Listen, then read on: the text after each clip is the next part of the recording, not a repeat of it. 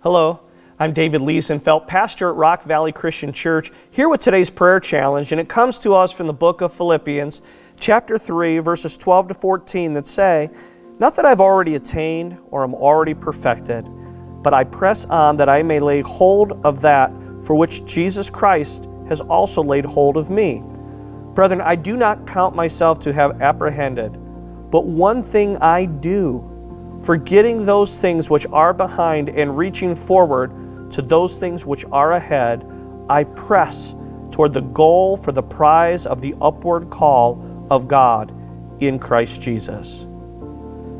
I want us to notice in verse 13 what it says again. For I do one thing, one thing I do, forgetting those things which are behind and reaching forward to those things which are ahead. You know, one of the hardest things that we face in life is all the baggage that we carry with us from day to day to day. So often we can have regret about what we did and wrong decisions we made, the mistakes that we made yesterday, a month ago, a year ago, five, ten. How many years ago is it for you? That you carry on regret, you carry on baggage from the past that is affecting who you are today.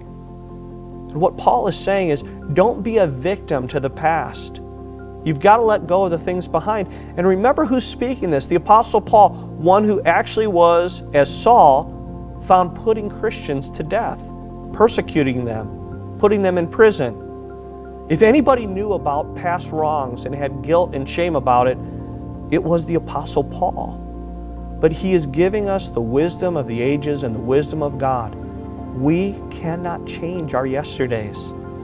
We cannot change our past but we can learn from our past, but we don't need to be a victim to it.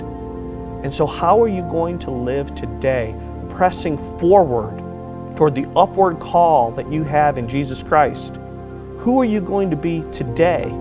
What kind of life are you going to live in serving God, in honoring Jesus Christ, in being a blessing to others?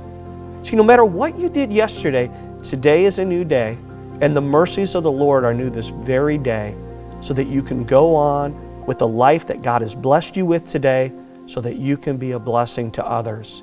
And what you find in so doing is that the things of the past become learning experiences. They hold no weight on you today.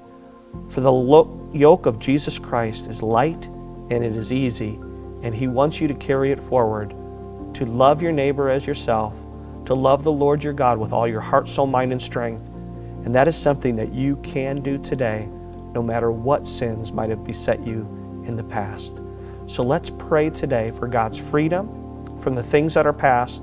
Let's pray for His inspiration, His creativity, and His power to press forward in our calling in Jesus Christ to be a blessing to God and to others this day. Let's pray.